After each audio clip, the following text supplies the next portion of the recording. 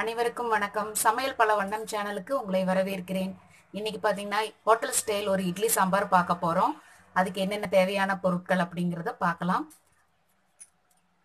First சிறுபருப்பு ஊற வச்சிருக்கிறேன். அதாவது பாசிப்பருப்பு இந்த மாதிரி ஒரு டம்ளரில் ஒரு டம்ளர் ஊற வச்சிருக்கிறேன். இது வந்து ஒரு அஞ்சு நிமிஷமாவது ஊறணும். அப்படின்னா தான் பருப்பு நல்லா குழவா உங்களுக்கு கிடைக்கும்.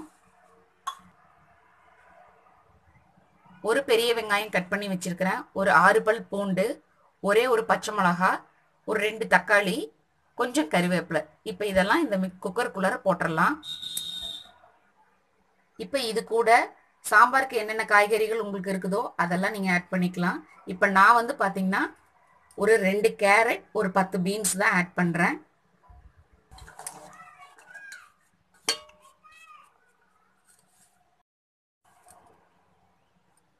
இது கூடவே பார்த்தீங்கன்னா ஒரு கால் டீஸ்பூன் மஞ்சள் தூள்.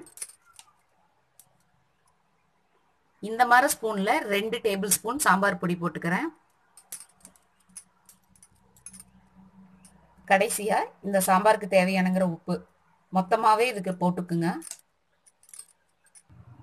இப்போ இதை அடுப்பில் ஏற்றியாச்சு இப்போ இதெல்லாம் ஒரு கலக்கு கலக்கி விட்டுறலாம். காய் மேலாக இருக்கிற மாதிரியே கலக்கி விட்டுக்குங்க.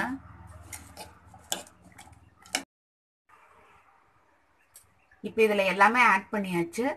எல்லாத்தையும் ஒரு கலக்கு கலக்கி விட்டுட்டு ஒரு ரெண்டு விசில் வச்சுக்கிட்டா போதும்.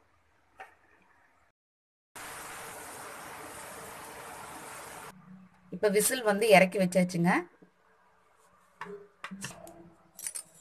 சூப்பராக வந்திருக்குது.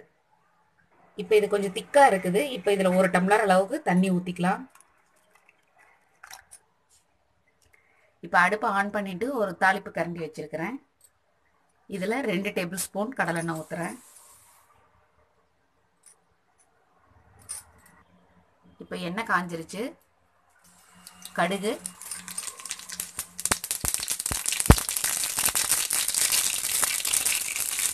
கொஞ்சம் உளுந்த பருப்பு கொஞ்சம் சீரகம்.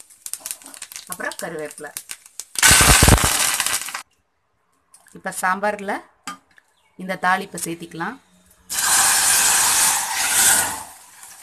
இப்போ பார்த்தீங்கன்னா எல்லாத்தையும் தாளிச்சுட்டு லேசாக ஒரு கொதி கொதிக்க விட்டாச்சு. ஒரு டம்ளர் பருப்புக்கு இவ்வளோ சாம்பார் வந்திருக்குது. நீங்கள் இதே அளவில் நான் சொன்ன மாதிரியே செஞ்சு பாருங்கள் சூப்பராக இருக்கும் டேஸ்ட்டு. இப்போ ஃபைனலாக கொஞ்சம் கொத்தமல்லி தலை போட்டுக்கலாம். சுவையாக டேஸ்டியான நம்மளுடைய சிறுபருப்பு சாம்பார் சிம்பிளாக குயிக்காக ரெடி ஆயிடுச்சு இதே மாதிரி செஞ்சு பார்த்துட்டு எப்படி இருக்குதுன்னு சொல்லுங்கள் மறக்காமல் சமையல் பல வண்ணம் சேனலை லைக் பண்ணி ஷேர் பண்ணி சப்ஸ்கிரைப் பண்ணுங்கள் தேங்க்ஸ் ஃபார் வாட்சிங் இப்போ இந்த சாம்பாரை இட்லியோட சர்வ் பண்ணிக்கலாம்.